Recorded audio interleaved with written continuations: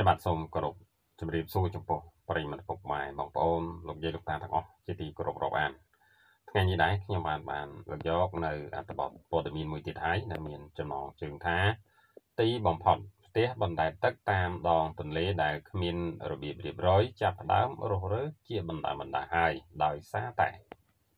បាទដោយសារតែអ្វីទៅបាទ បាត់ទីបំផុតផ្ទះបណ្ដែតទឹកតាមដងទន្លេដែលគ្មានរបៀបរៀបរយបាទគឺចាប់ផ្ដើមរុះរើជាបណ្ដាបណ្ដាហើយបាទបាទផ្ទះបណ្ដែតទឹកតូចធំនិងសំណង់មិនរៀបរយតាមដងទន្លេមួយចំនួន បានស្ម័គ្រចិត្តរុះរើជាបណ្ដាបណ្ដាបាននៅថ្ងៃទី7ទី8ខែមិថុនានេះខណៈដែលថ្ងៃបាទអសានវត្តនៃការ អនុវត្តវិធានការរដ្ឋបាលរបស់រដ្ឋបាលរាជធានីភ្នំពេញកាន់តែខិតជិតមកដល់បាទបន្ទាប់ពីរដ្ឋបាលរាជធានីភ្នំពេញបានប្រកាសទុកពេលមួយសប្តាហ៍ឲ្យម្ចាស់ចិញ្ចឹមត្រី បាទឲ្យម្ចាស់បាយចិញ្ចឹមត្រី ម្ចាស់ផ្ទះបណ្ដែតទឹកម្ចាស់ផ្ទះតូចតូចនិង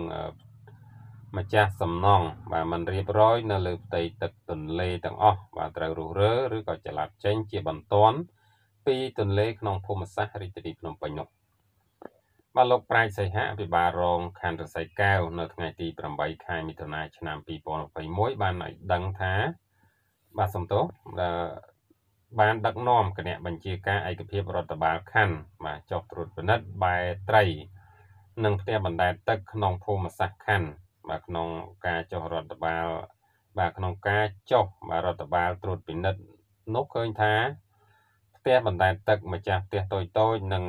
ម្ចាស់សំណង់មិនរៀបរយតាមដងទន្លេបានស្ម័គ្រចិត្តរុះរើ បាន4ទៅ5កន្លែងហើយហើយក្រៅពីនោះបាទពួកគាត់ក៏បានសន្យាថានឹងរុះរើជាបណ្ដាបណ្ដាទៀត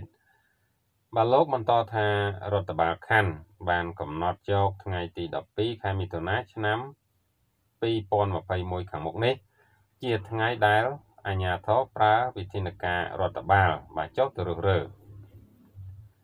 បាទដោយមិនទទួលការខូចខាតបាទមិនទទួលខុសត្រូវនៅរាល់ការខូចខាតនិងប្រឈមមុខច្បាប់ថែមទៀតបាទចំណែកឯលោករស់សុភ័ក្រអភិបាលរងខណ្ឌច្បារអំពៅបានបញ្ជាក់ឲ្យដឹងនៅថ្ងៃទី8ខែមិថុនាថាជំវិញវិធានការបាទនៅផ្ទះបណ្ដែតទឹក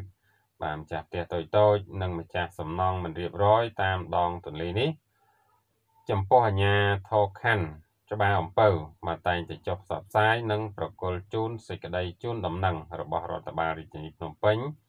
ជូនទៅពួកគាត់គ្រប់គ្រប់គ្នាដើម្បីឲ្យពួកគាត់រស់រើសំណង់ទាំងអស់នោះចេញមុនមួយសប្តាហ៍បាទប៉ុន្តែបើគិតមកដល់ត្រឹមថ្ងៃទី8ខែមិថុនានេះបងប្អូនម្ចាស់ផ្ទះបណ្ដែតទឹកបាទម្ចាស់ផ្ទះតូចតូចនិងម្ចាស់សំណង់មិនរៀបរយ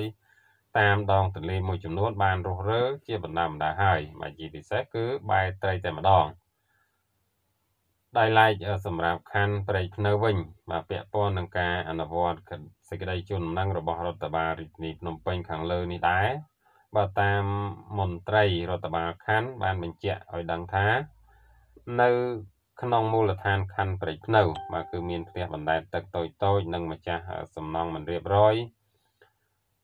តាមដងទន្លេចំនួន292កន្លែងបាទស្មើនឹងចំនួន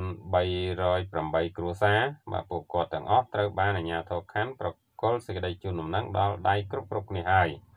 ប៉ុន្តែទោះបីជាយ៉ាងណាក្តីមន្ត្រីនោះមិនបានបញ្ជាក់ពីការរុះរើផ្ទះទឹកទាំងនេះបានប្រមាណនៅឡើយទេបាទ បាទអញ្ចឹងមានអ្នកខ្លះបាទក៏រុះរើហើយបាទហើយអ្នកខ្លះហ្នឹងក៏មិនទាន់រុះរើដែរបាទបាទអរគុណចំពោះការតាមដានទស្សនារបស់ប្រិយមិត្តពុកម៉ែបងប្អូនលោកយាយលោកតាទាំងអស់បាទសូមជួយចុច Subscribe សញ្ញាកណ្ដឹងបាទដើម្បីទទួលបាននៅព័ត៌មានថ្មីៗជារៀងរាល់ថ្ងៃផងដែរបាទសូមអរគុណសូមជម្រាបលា